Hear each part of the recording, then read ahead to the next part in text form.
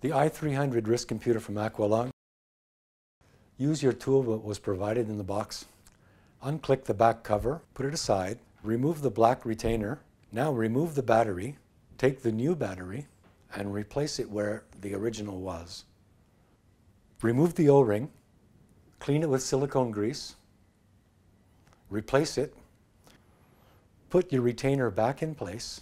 Now place the cover on the back of your computer and click it closed. There you go.